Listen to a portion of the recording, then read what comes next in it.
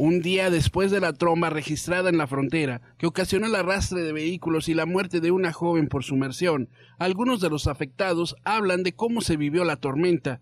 Gustavo Quesada platica mientras limpia su banqueta de cómo el agua bajaba con fuerza y pegaba en la acera de enfrente, observando cómo se desaparecía el puesto de venta de comida. Pues yo pienso que va a estar medio complicado porque ahí pega el golpe del agua y aparte los carros, ahí está peligroso, pero no, yo no sé, cada quien no, si lo quieren hacer, pues si lo hacen alto a lo mejor les funciona. Para nada, estamos en alto, gracias a Dios está, está en alto la casa y como te digo, la fuerza del agua va hacia aquel lado, la curva lo lleva hacia allá. En esa misma acera, pero metros más adelante, Julián, quien trabaja en un establecimiento del área afectada, es una de las personas que hicieron grabaciones donde se muestra cómo los autos son arrastrados y hace un llamado a la gente a que no se confíe y tome precauciones al circular en zonas peligrosas cuando llueve. Aquí nos dimos cuenta cuando la muchacha, pues, pues, lamentablemente falleció, subió a su carro para moverlo y pues ya no tuvo, ya no tuvo chance de salir. Pues carros que quisieron ganarle enfrente al, al, arroyo, pues tampoco no pudieron. Fueron como dos carros que llevaban gente.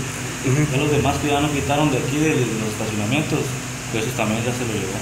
Que no le entre porque la neta se mira fácil, ¿no? En el video ahí incluso no se mira con tanto como veracidad como es ya cuando está uno en, vivo ahí con nosotros ayer que estamos de aquí. La verdad no, te metes ahí y un pie que pongas y te va a llevar, pues Si se llevan las camionetas, que no se lleve la gente. De los nueve autos arrastrados, uno de estos era el de don Roberto, originario de Guatabampo, pero que estaba de visita en la ciudad.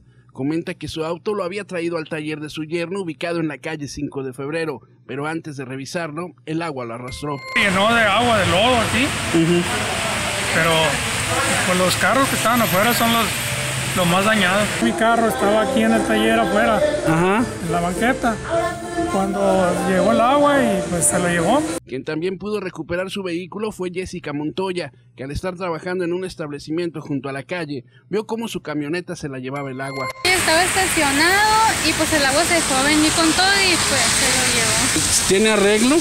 Pues la verdad el motor sí enciende, sí enciende muy bien. Lo único, el detalle que yo tengo en mi carro pues son, pues está todo chocado, ¿no?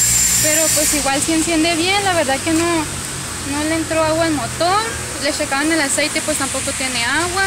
Los, únicos detalles son los golpes. ¿Hasta dónde lo arrastró?